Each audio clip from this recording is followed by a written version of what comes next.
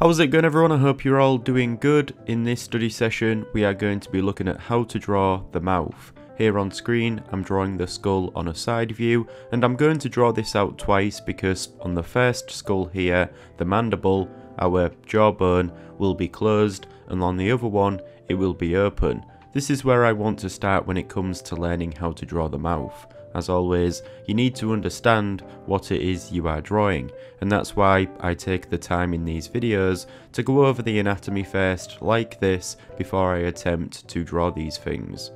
Now, I covered the skull in a previous video, so you might be familiar with the mandible here. The mouth needs to move, and so that's why the head consists of one big fixed bone being the cranium, and then a moving bone being this mandible although the maxilla, this bone above here, forms part of the mouth as well, but that's fixed or, or sutured is the term I believe, to the skull, and you'll see how that plays a part soon. However, in terms of how the mandible moves, here's a diagram on screen. It can move in quite a few directions, and those movements obviously have an effect on how the mouth appears.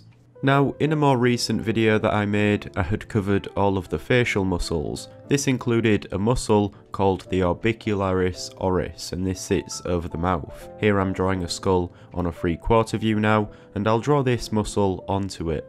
I do go over how to draw the skull this way on any angle in its own video, but we will likely be going over this again in a later study session. At either side of this, at the corners of the lips, are visible bumps called nodes, due to a lot of other facial muscles meeting here. These muscles pull and move the orbicularis oris to make different expressions. This is like a, a muzzle in a way, at least that's how Andrew Loomis describes it in his book Drawing the Head and Hands. However, in the book Figure Drawing Design and Invention by Michael Hampton, he refers to what he calls the denture sphere, an area which encapsulates the lower section of the skull. This is drawn from the top of the chin up to underneath the nose, and this area pushes out and away from the face, and so the lips are drawn on top of this form. Here I'll create a few examples, I draw the sphere out, and then I place the lips onto this, having them curve around the sphere and I'll draw two of these, one where we are looking up at the lips from below and one where we are looking down from above.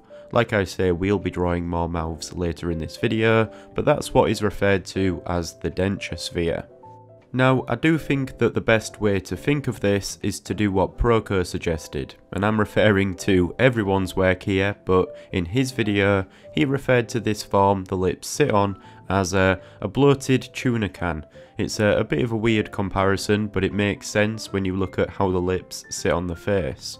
They must always follow the same perspective as everything else, and I think that's the main reason for this. It helps to reinforce your perspective when drawing. Here I'm drawing this on a few angles off to the side.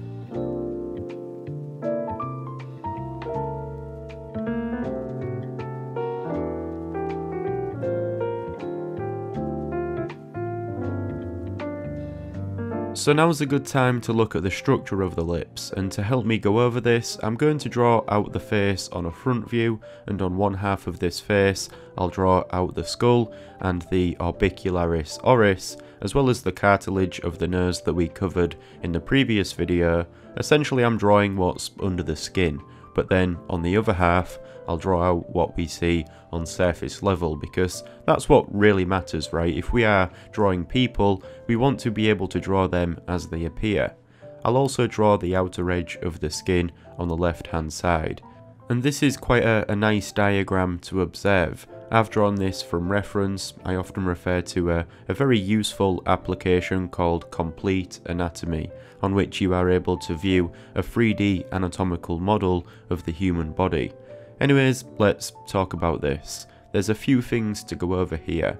Connecting the nose to the mouth, there's what is called the philtrum, and I've always wondered what this was called. The top lip below follows the shape of this, which results in the top lip being shaped like a letter M, and this shape is actually referred to as the cupid's bow.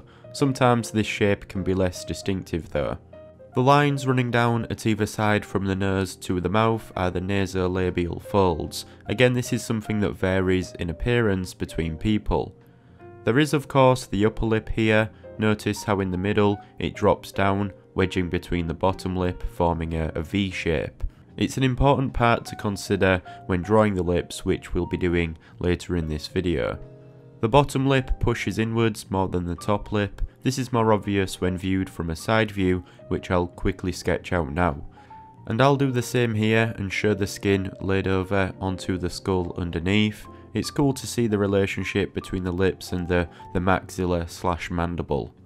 Now on a side view like this, it's also clear to see the planes of the lips and how they shape the face. Throughout the previous videos on drawing the eyes and nose, I had been using the simplified head planes by Loomis as a guide to drawing these features.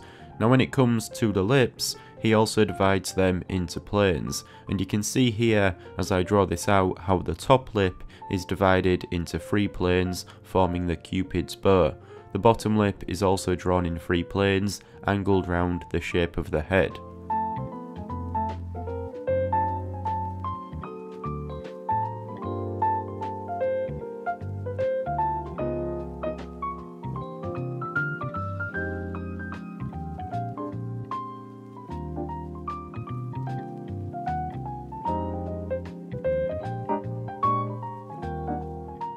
So now it's time to start drawing out some mouths and I'm going to start by drawing most of these on a front view before then drawing some on different angles in perspective. I am drawing these from reference as well, I found some images online and also awkwardly took some photos of my own mouth, and so I'd recommend doing the same if you are starting out. I'm also going to draw some mouths which are open here, like this one that's going to be smiling. Sometimes it can look creepy drawing out these mouths with the teeth on show. We only see the top row of teeth on this example though. I also shade these lips in because I think that helps to define the form of the lips better. I'm able to add some shadows and also give these lips some texture. Notice how the lines that I add when shading in the lips follows the shape of them.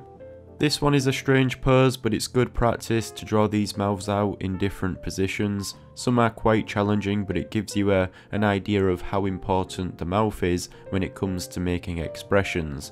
Just looking at these mouths in isolation portrays some emotion.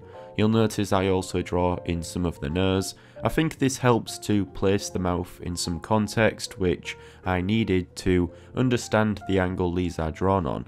You'll see when I draw some of these on, on different angles soon, or even in the previous video where we had drawn the nose, it's a, a really useful feature when it comes to indicating the perspective you are drawing the face on whereas the lips and mouth is quite the opposite, I think. I know we had covered the denture sphere and the bloated tuna can, but without the context of any other features, it, it can be hard to understand these mouths and their placement in space so that's why I also draw the nose in.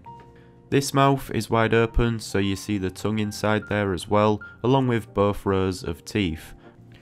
As I said earlier, because I was drawing these from reference, I was also able to draw in some of the other details, such as the nasolabial folds, and other creases in the skin that are formed when the mouth is pulled open or moves in different directions. This also does well to emphasise expressions. Anyways, I'll draw a few more of these out and then I'll look at drawing these on different angles.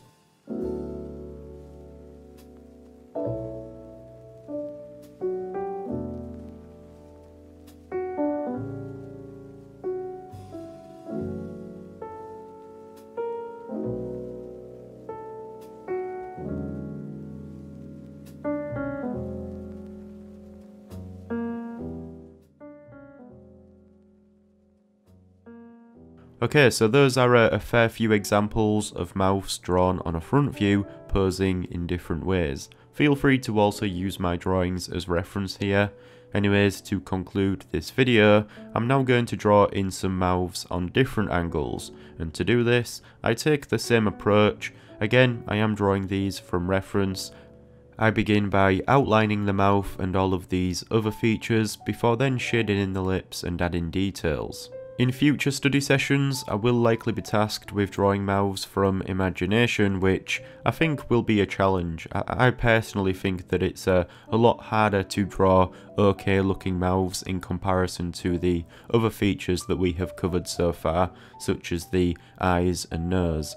I'll be looking at drawing the ears next, so we'll see how that goes, but after that I'm going to be bringing all of this together and drawing faces and heads on, on different angles from imagination. I also want to revisit the facial muscles and look at them in regards to the role they play in making expressions. It's a, a rather daunting subject to be fair, but I think that this is a, a practical way to approach it, step by step in each video like this. Anyways, I, I, think this example looked really good. I'll only create a, a few more of these, seeing as I've drawn a lot of them already.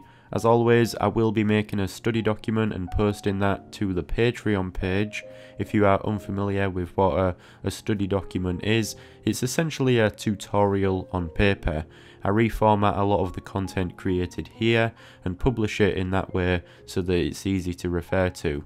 It's basically like a page from a how to draw book. Anyways, here I'm almost done drawing these mouths.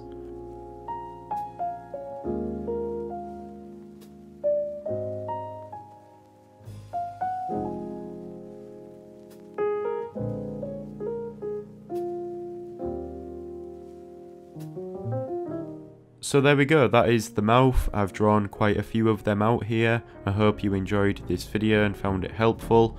With that being said, thanks for watching and I'll see you in the next one. If you enjoyed the content I create, then do consider becoming a patron on Patreon. You will gain access to exclusive tutorials, study documents, process papers, real-time drawing footage and more. Plus you will also be supporting me in a more personal way. Other than that, thank you for watching this video and I'll see you soon.